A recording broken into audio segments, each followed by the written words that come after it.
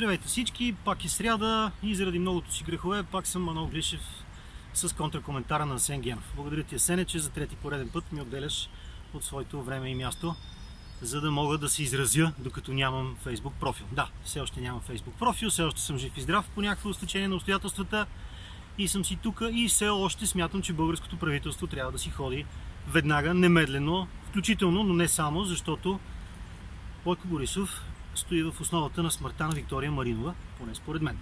Не забравяйте тази тема. Днес ще ви занимая с няколко неща, заради това съм си взел и тефтерче, тъй като новините се трупат и ако не им обърне внимание на време, някакси се, се, затъват. Няма, няма ден без скандал. Днес е 14 ноември и може би най-интересната новина е поредния мониторингов доклад на Европейската комисия за справянето на българското правителство с неговите текущи задачи. Министъра на вътрешните работи, господин Маринов, министърката на правосъдието, госпожа Цачева, една особено иронична фигура в нашата най-нова съвременна история, и изобщо цялото правителство са в френетичен възторг от новия мониторингов доклад. Той им се струва ласкателен. Маринов почти цитира едно старо изказване на Захариева ли беше, на Ангелкова ли беше, според което усещането за корупция било намаляло. И изобщо твърдят, че се справят прекрасно със своите задачи. Ето какви са направленията, по които Европейската комисия наблюдава България. Независимост на съдебната власт. Нормативна уредба, значи закони и подзаконови актове. Продължаване на съдебната реформа. Корупция специално в правителството, по високите етажи. Местна корупция и корупция по границите на България. И шесто, организирана престъпност. На пръв поглед доклада, който вече е излязъл изцяло на български язик, действително сякаш е ласкателен за правителството. По няколко точки сякаш правителството се е справило. Например, за организираната престъпност, за нормативната уредба, за независимостта на съдебната власт. Европейската комисия казва, временно ще спрем да наблюдаваме България по тези точки. И какво прекрасно правителство имаме. Браво господин Борисов, браво на патриотите, браво на цялото народно събрание. Всичко едва ли не е прекрасно. Но, ето какво още пише в текста, заради това съм си взел тефтерчето, искам да цитирам много точно, текста на доклада на Европейската комисия. Цитирам. Въпреки, че комисията все още не може да заключи, че някой от показателите е изпълнен в задоволителна степен на настоящия етап, то тя остава на мнение, че с непрекъснато политическо лидерство и така нататък положението в България ще се оправи. Комисията не може да заключи, че който и да е от показателите, по които тя наблюдава България, е изпълнен задоволително на настоящия етап. Особено точката, по която, по която комисията продължава да наблюдава България, е корупцията по високите правителствени етажи. Това ще си го намерите в текста на мониторинговия доклад на Европейската комисия от 14 ноември 2018 за България. Наблюдението продължава по 3 от 6 точки. Едното от тях е корупцията на кабинета. Тоест, комисията директно казва така. Господин министр-председател, вашите най-близки хора, да не кажем самия вие, сте си корумпирани. Това е нещо, което Маринов, министъра на вътрешните работи, няма да ви го каже. Той ще ви каже, усещането за корупция намаля. Точно както Ангелкова или Захарива, не помня коя от тия две взаимозаменяеми министърки, го беше изтърсила преди няколко месеца, доста неподготвено, впрочем. Усещането може да е намаляло, но самата корупция си седи. Толкова по точка първа. Толкова по точка Европейска комисия. Айде да си говорим сега за други неща. Протести. Да, знам, това е досадна тема, говорили сме го хиляди пъти, ще го говорим още хиляди пъти, няма как иначе да бъде. Протестите на майките на деца с увреждания срещу Валери Симеонов в момента не са особено впечатляващи. Може би защото, за съжаление, БСП твърде ясно, активно и демонстративно ги подкрепи, което е най-добрият начин да изпортиш една протестна акция в България. БСП не иска точно да свали правителството, но не иска и да му създаде комфорт. БСП иска да клати правителството и за да има леверидж срещу него. Леверидж е американски термин, който означава буквално място за маневриране. Да има възможността, БСП иска да има възможността, да си вдига цената пред Бойко Борисов. Тоест Корнелия Нинова най-вероятно иска още пари от Бойко Борисов. Това е свързано, разбира се, с позицията на съпруга на госпожа Нинова в Лукойл. Свързано е с ценообразуването на бензина в България, т.е. свързано е пряко с руското енергийно влияние в нашата страна. Същевременно обаче, протестите в България не само не намаляват, въпреки че протеста на майките, който беше най-хуманен и най-необходим, не е точно толкова успешен, колкото трябва да бъде, протестите не само не намаляват, а се и увеличават. Ако отворите новинарските сайтове, ще видите, че там в момента се обсъжда слабостта на правителството.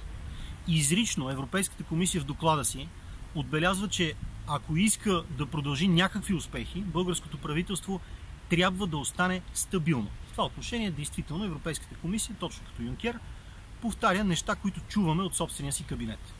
Тоест, все пак някакво влияние в НП може би има, не знаем. Вялите книгата ми непрекъснато пада. Благодаря ти, Асен. Та.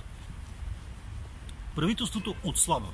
Дали, както е тезата на Демократична България в момента, правителството се самосваля от власт, или дали наистина ДПС и БСП стават по-силни в момента и се опитват да повторят сценария от февруари-март 2013, това не сме до край сигурни.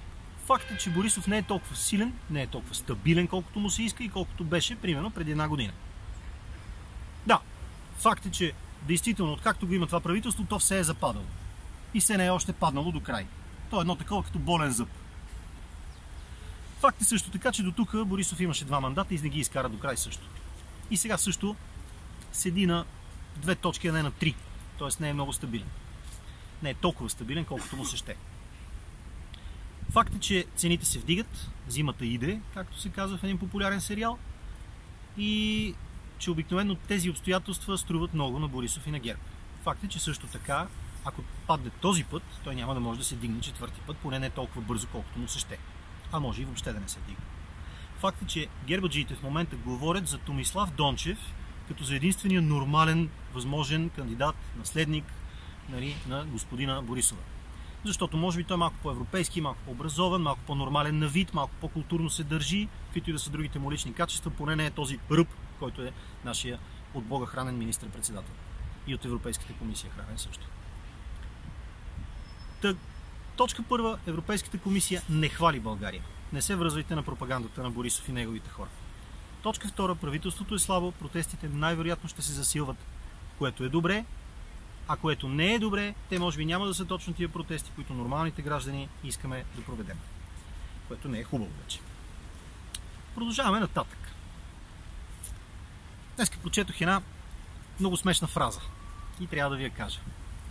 Бившия министр на културата и ако не се лъжа сега шеф на парламентарна комисия за култура, не съм съвсем сигурен, Вежди Рашидов казва така. Дайте качество, стига революции. Хубав слоган, хубав лозунг, харесва ми как звучи. Прочетох го, записах си го, запомни го. А, не ми се иска да се заяждам с а, този възрастен човек на лична почва, но като става дума за качество, не мога да не припомня любимия си анекдот, свързан с него.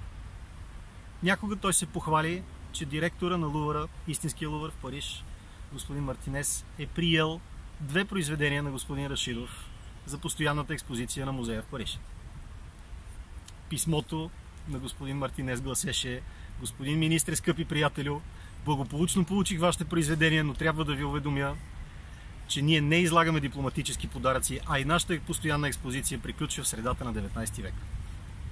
Толкова по въпроса за Рашидов, качеството и революциите. А, чакайте, защо толкова? Нали е човек на изкуството? И аз съм нещо като човек на изкуството, макар и все още начинаещ до някъде. Ами, изкуството не е ли ушким, уж божим, така малко бунтарска дейност, малко а, по някакъв начин не изцяло статуквена дейност? Може ли един скулптор да каже, стига революции, дайте качество? Дайте качество е добре. Стига наистина да го даде. Но стига революции. Него правителството слабо, Европейската комисия недоволна, корупцията не е преодоляна, цените на бензина скачат, а стига революции. Хм, това не е, много, не е много като човек на изкуството, така да се каже. Достига с този човек на така, ушки на изкуството. На какво още да ви обърна внимание? А, по един малко по-личен въпрос. Понеже Асен е така любезен да ми предостави вече за трети път, трета поредна сряда, своя контракоментар, ми стана любопитно от кога изобщо си давам труда да говоря против правителствата на Борисов. От кога смятам, че тези правителства трябва да си ходят да, и да не се състоят повече никога? Отговор е от 2011 година. Понеже имах възможността да изтегля архива на бившите си профили във Facebook и да го прегледам в свободното си време, установих, че за първ път съм казал, Борисов трябва да си ходи немедлено, ма моментално, в 11-та година. На следващата година, в 12-та, през лятото, бяха протестите, забележете, срещу Цеко Минев. Тогава не за Пирин, или поне не само за Пирин, а за Витуша. И тогава също имаше много, сериозни, много сериозно говорене против Борисов. Част от него е тръгнал още тогава от мен. С това не си приписвам големи заслуги. Просто искам да кажа, бил съм винаги последователен в това отношение. Борисов е корумпиран, Борисов е некадърен, хората с които се обгражда и които издига са също корумпирани, но не винаги са некадърни, което е още по-лошо. И няма защо да бъде харесван без значение какви са другите ви убеждения. Ако ще сте консерватор, чудесно бъдете консерватор.